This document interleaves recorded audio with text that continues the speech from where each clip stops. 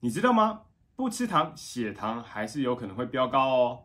你是不是也常很纳闷，自己明明不吃糖果、蛋糕这类甜食，为什么检查出来血糖还是飙高？你以为只要不吃甜的就能稳住血糖了吗？很多人会来问我，宽宽医师，我明明很少吃糖了，为什么我的血糖还是控制不下来？是不是哪里出了问题呢？今天就让我们一起来聊聊不吃糖血糖还是高的控糖迷思吧。嗨，大家好，欢迎来到宽宽医师的频道，我是肾脏科宽宽医师，一起关心你我肾脏健康。我一直强调极简护肾，护肾并不复杂。我们不需要依赖神奇的产品或繁琐的疗法，只要简单的改变一些生活习惯，就能守护肾脏健康。点击说明栏下载护肾手册，用最简单的方法让肾脏更健康。主题一：吃起来不甜，不代表不会血糖升高。你可能会想，我都已经忌口了啊。蛋糕、手摇饮、巧克力，通通戒掉了，为什么血糖还是飙高？哎呀，这正是一个非常常见的迷思哦。我们平常说的血糖，是指血液中的葡萄糖浓度，而会让血糖上升的，并不是只有那些甜滋滋的糖，像是糖果、砂糖而已哦。真正影响血糖的范围更广，是那个有字部的糖。也就是我们熟悉的碳水化合物，这正好呼应了很多朋友的疑问啊。什么？原来很多吃起来完全不甜的东西，其实也会让血糖升高？没错，让我来举几个例子，你一定会很有感。首先，我们必须认清各种会影响血糖的糖类，也就是有字部的糖，也就是碳水化合物。第一，精制糖，像是白糖、黄糖、红糖、黑糖。还有高果糖、玉米糖浆这些加工糖，它们几乎不需要消化，快速进入血液，会导致血糖迅速飙升。这就是我们控糖时首先需要戒掉的。第二，天然糖分，这存在于水果和牛奶中，虽然是一些天然的来源，但对身体来说，消化后一样会被转变成葡萄糖，所以即使是天然的，摄取过量。还是可能会让血糖升高。第三，主食与根茎类，更广泛来说，这些有字部的糖就是属于碳水化合物的一种，包含我们吃的米饭、面条、馒头、面包等主食，以及马铃薯、地瓜、玉米、南瓜这些根茎类食物，它们吃起来虽然觉得不甜，但消化后。一样会变成葡萄糖，进而影响血糖值。让我来跟大家分享小花婆婆的故事。小花婆婆刚被诊断出第二型糖尿病前，哎，为了控制血糖，下定决心戒掉所有的甜食。早餐他只吃两片全麦吐司，心想着，哎，全麦的健康又好。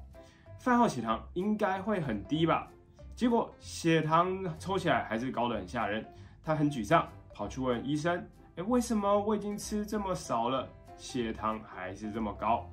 这就是很典型的误区，很典型的迷思。很多吃起来完全不甜的食物，反而是糖类的大户。像是我们每天吃的主食，例如白饭、面条、馒头、面包，还有马铃薯、地瓜、玉米、南瓜这些根茎类，虽然不是甜食。但消化后都会被分解为葡萄糖，让血糖飙升。所以，即使是看起来很健康的全麦吐司，两片就含有三到四份的糖。如果没有搭配足够的蛋白质或蔬菜，饭后血糖仍然会飙高。另外，别忘了那些你可能没有注意到的隐藏糖分，像是煮菜时我们勾芡用的太白粉、玉米粉。这些都是淀粉，消化后一样会变成葡萄糖。炸鸡外皮酥脆的那个面衣啊，那甚至会加上很多调料和酱料，哎，为了口感也会加了不少糖。这些都是你舌头尝出来不甜，但却会悄悄推高血糖的地雷啊。甚至哎，连一些看起来很健康、吃起来没有很甜的水果，比方说芭乐或苹果，它们也有天然的果糖和葡萄糖，一样要注意摄取的分量，而不是说吃起来不甜就可以拼命疯狂的吃。所以，光靠舌头来判断食物会不会影响血糖是非常危险的。吃起来不甜，不代表不会让血糖升高。真正该关注的是碳水化合物的总量，这才是控糖的第一步。主题二：身体自带的造糖工厂与刹车失灵。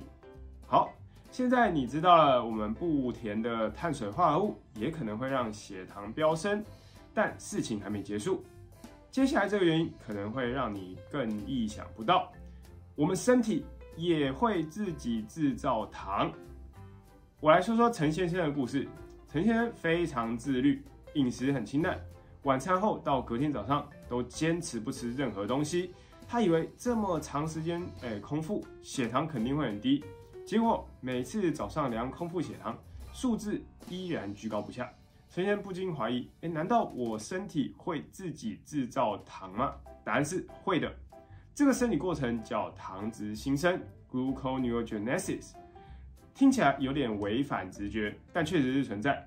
即使你完全没有吃任何东西，或者饮食中完全没有碳水化合物，你的身体，诶，主要是肝脏，还有一部分的肾脏，就会利用其他的来源来制造葡萄糖。这些来源主要是像蛋白质分解出来的氨基酸，以及脂肪分解出来的甘油，然后转换成葡萄糖。这其实本来是身体的一个保护机制啊，确保像大脑啊和红血球这些随时需要葡萄糖的器官不会被断粮，不会缺糖。那是不是很神奇？人体自带一座造糖工厂，但问题是这座造糖工厂在某些情况下可能过度的活跃，甚至失控，尤其是在有胰岛素阻抗的人身上。打个比方。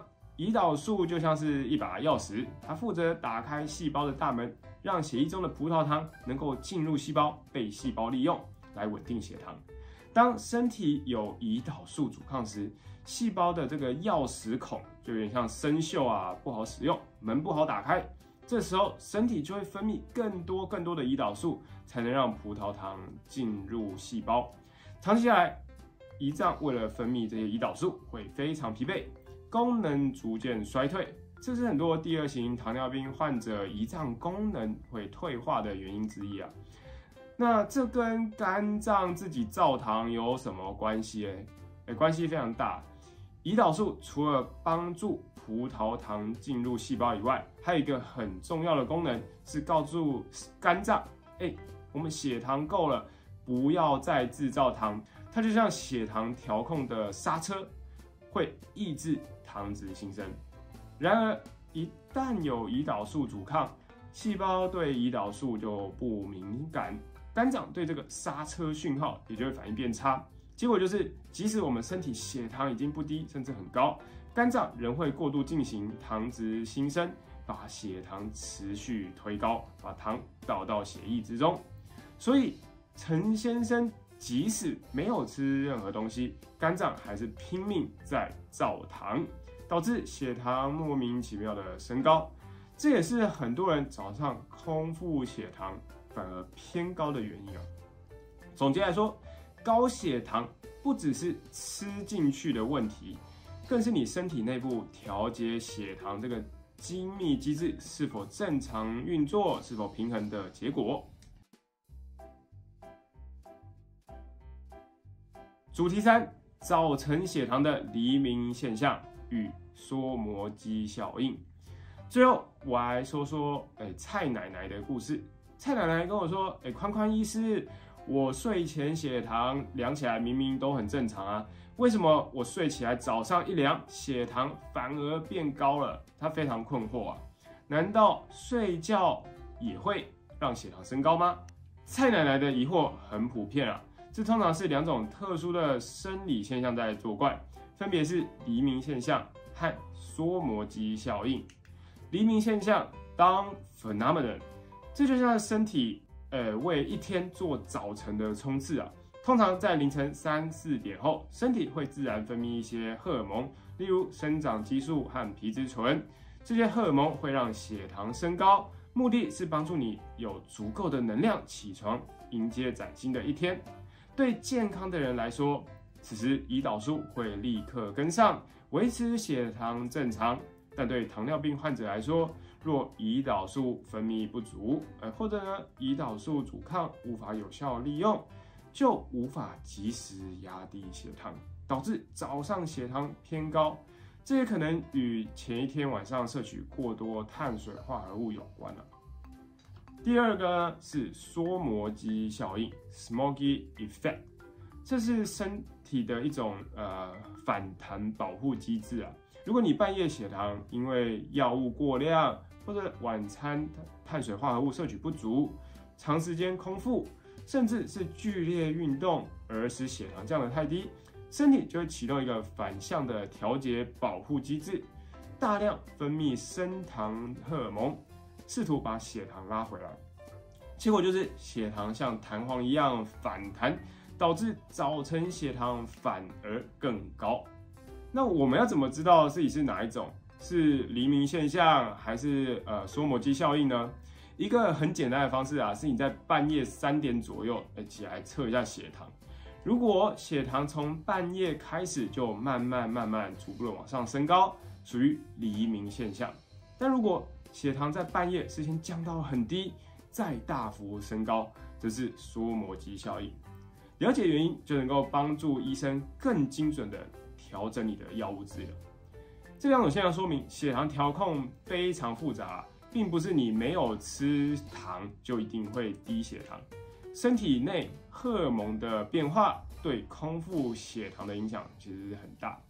总结一下今天内容，今天我们彻底打破了不吃糖就不会高血糖，也不会糖尿病这个迷思。你已经知道，第一，高血糖不只来自于甜食，还有那些不甜的碳水化合物。第二。身体失控的造糖工厂和刹车失灵，也就是糖脂新生与胰岛素阻抗的关系。第三，造成早晨血糖上升的生理反应，黎明现象与缩膜肌效应。